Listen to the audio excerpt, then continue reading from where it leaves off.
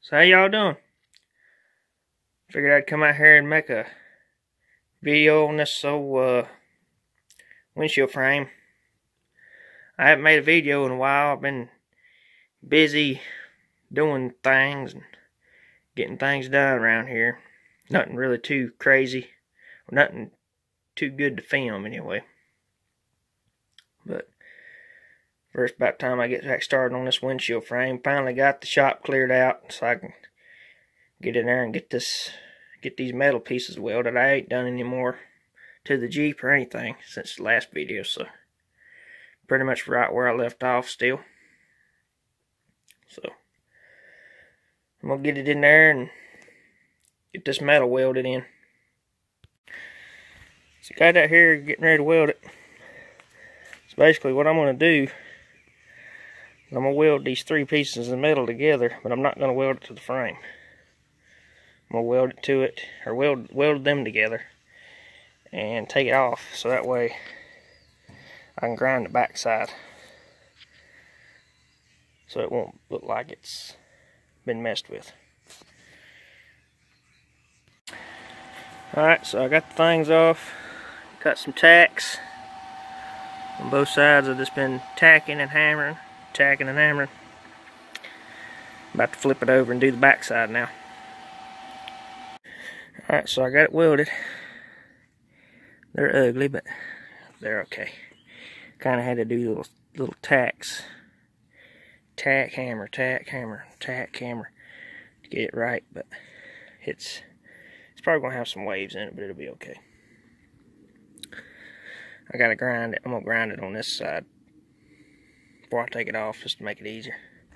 Then I'll grind the backside when I take it off. And then I'm going to go back and weld weld it on the corners. I was scared to do it now because I figured it'll weld it to the frame. Don't want that to happen. So weld it onto the edges, grind it smooth, and then I can start working on the rest of it. Getting this paint off, which luckily I don't have a lot to remove since I took this whole section of it out. But I'll be back when I got some more. Alright, so ground them down both sides.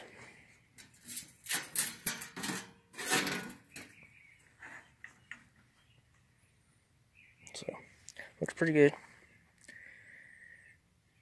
Now I gotta do this frame, get it ready to go. Weld them together. Alright, so I'm back out here on this windshield frame. It's the next day. And I'm going to try to start getting some of this old uh, paint off up here. There's not a lot on it. Like you can see there, it's pretty much bare metal. But where there is paint, it's going to be hard to get it. So I swung by Lowe's today getting off work. And I grabbed a gallon of this stripper here. So I'm going to see how good it does. I'm just going to put it on with a paintbrush.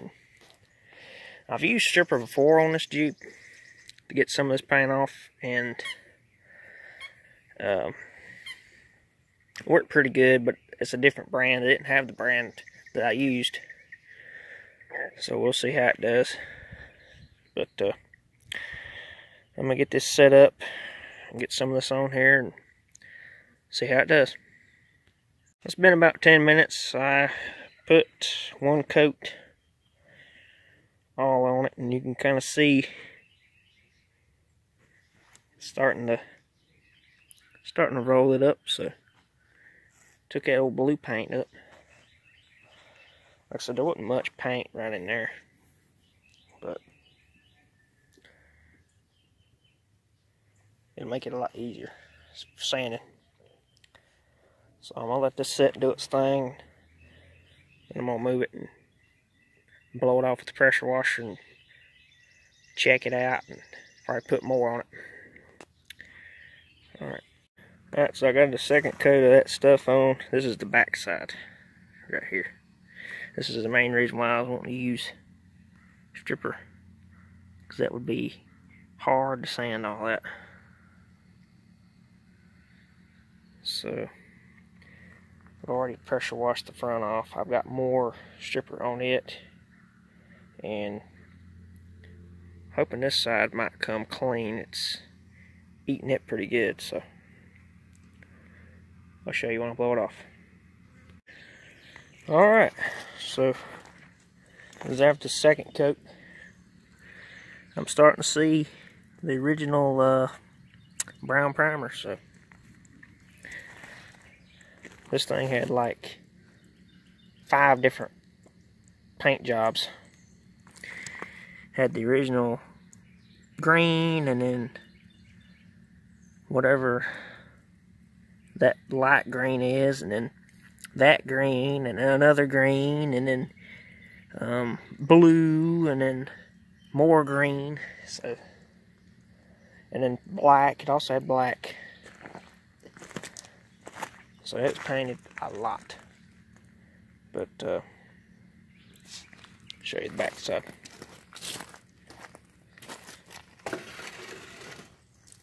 it come out pretty good the same. See some more of that primer. I don't know. I think I'm gonna hit it again. Cause that primer I've learned it don't that stuff don't touch that primer. So if I can get it stripped off to just that primer, I'll be in good shape. But uh, yeah, it's coming along a lot less work than what it would have been.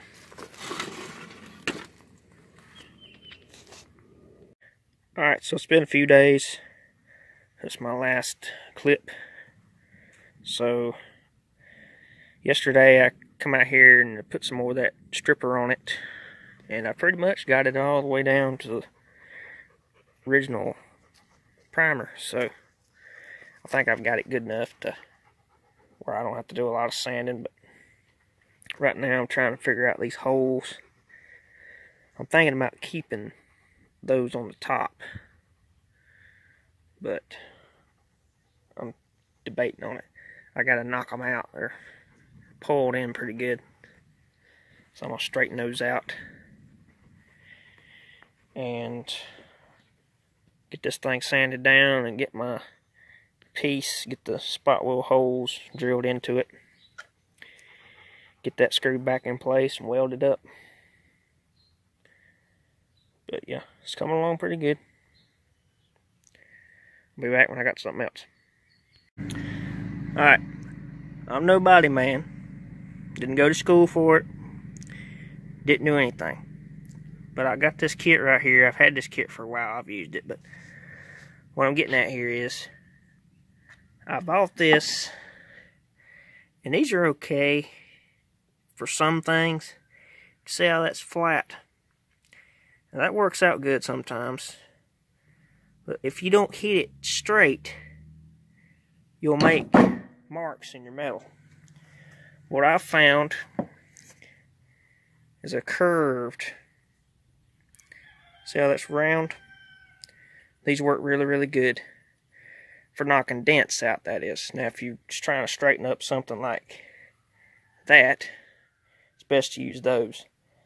But for a ding and like a hood or a fender or a door, something you can get to the backside of, I found you don't even have to have a you don't even have to have a dolly with this. You can like tap it out.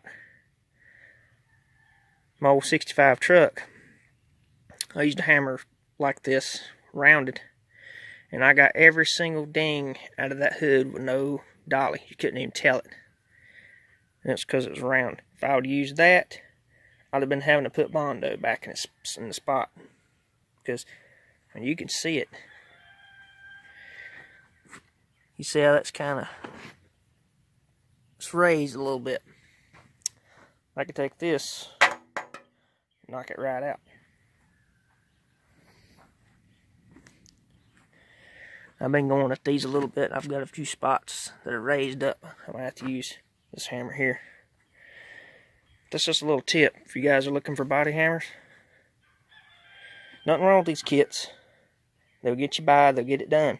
And maybe I'm just using them wrong. Like I said, I'm not a body man. But I found these are the ticket. Rounded. You could use a ball peen hammer too, but uh, I like a body hammer. This is a homemade body hammer. Someone made it. Blacksmith made it. They did a good job too. It works. Figured I'd share that with you guys if you're having trouble with body work. Alright, I've been tapping on this thing a little bit with that round hammer. It's coming out pretty good. Getting some of those high spots knocked down. A lot of these are, are a lot of the metal stretched. So I knock it from one side with the, with the dolly and the hammer, and it deforms it. So I'm just going to have to weld them up and then bond them. That's really the only way to fix it. But uh, it'll be okay. Won't really notice it. Said I may keep them. I don't know. Because I'm going to put a bikini top in this groove right here. So you won't really see this. It'll be capped off. And I may end up having to put... Um, put bolts through it to help hold it. But hopefully not, though. It should stay. But in case it doesn't, I think I'm going to keep these. I'm going to put a rear view mirror on this one. So,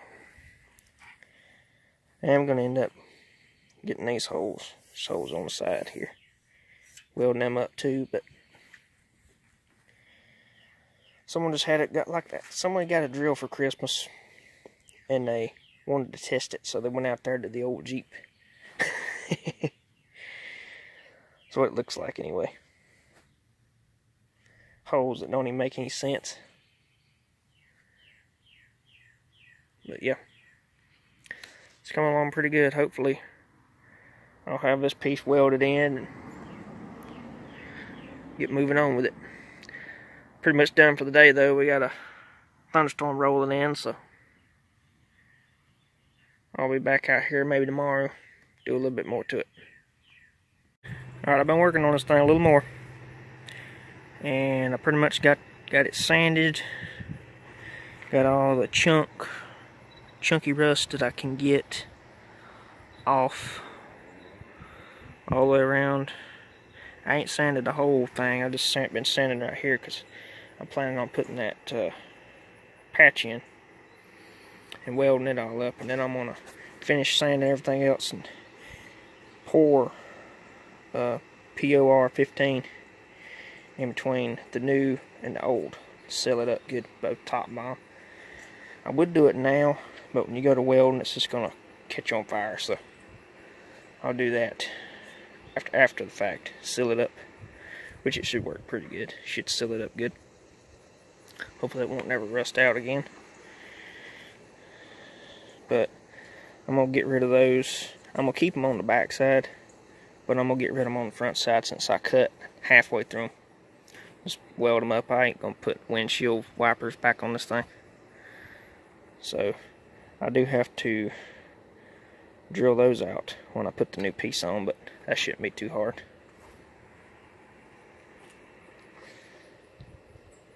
It's coming along.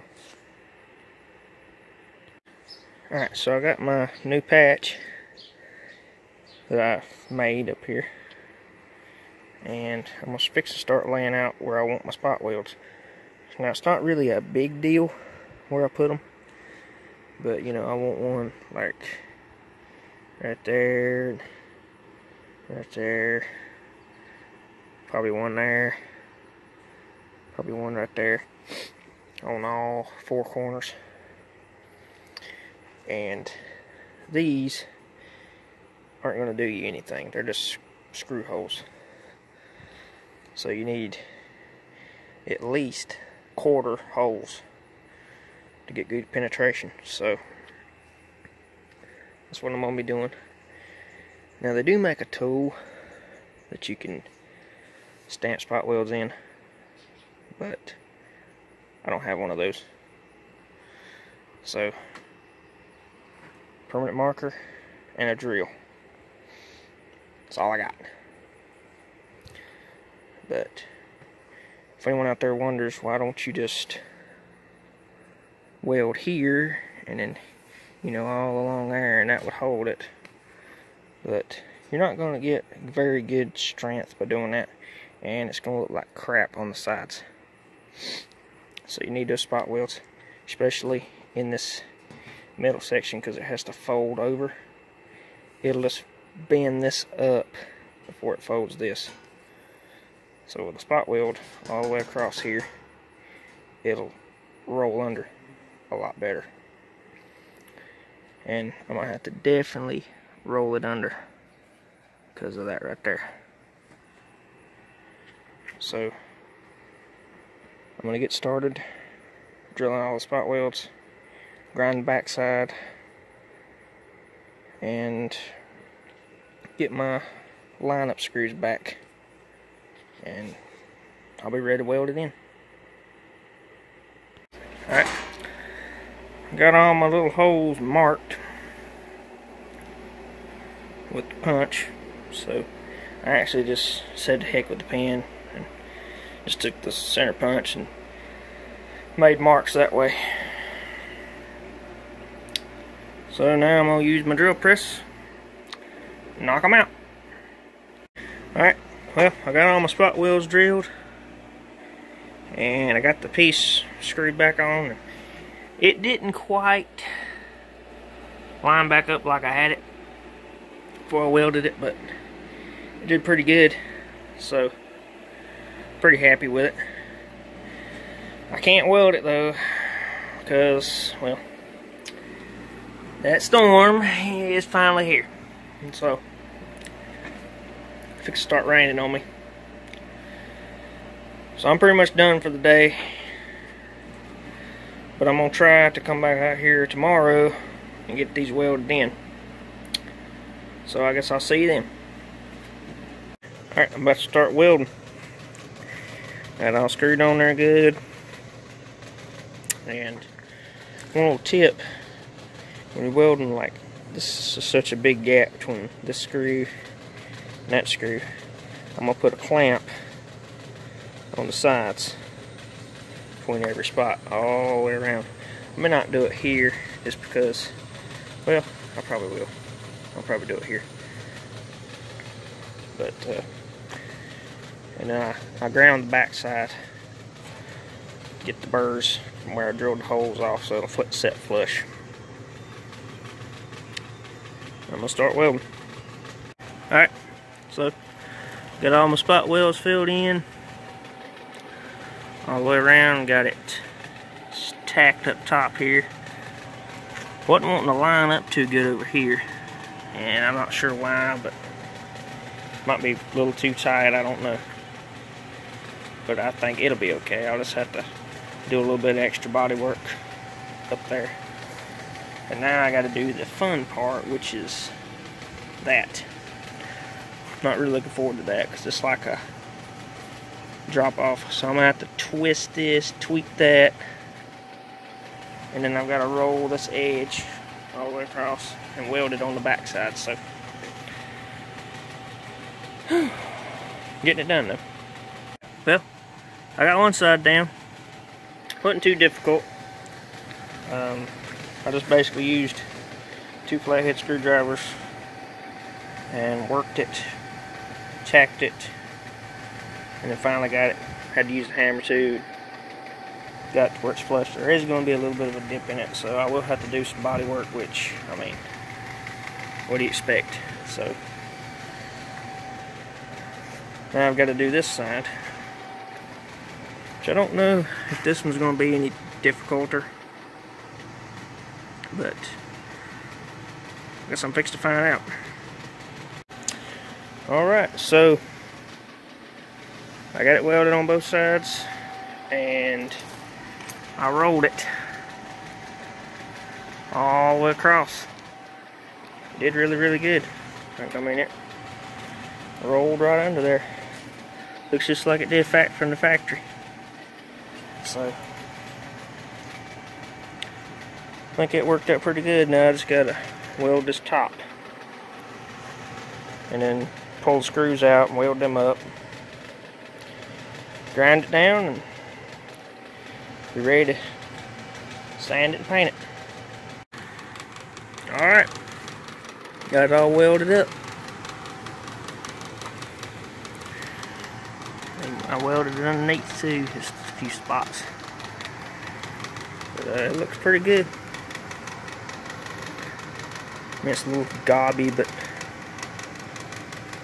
it's thin sheet metal too, so I had to kind of take it easy on it. But it did okay. Kind of humped up a little bit. You kind of see it. Low spot there. High spot, low spot. So I am going to have to do some body work to it, but it ain't got to be perfect. So I'm going to start grinding it. Alright. Got it all ground down, sanded, got holes drilled. Looks pretty good, a little bit.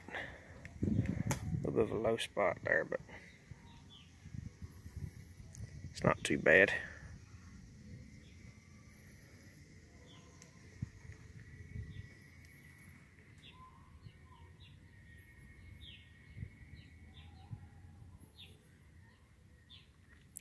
Looking good so far. Alright, well, got it all welded up.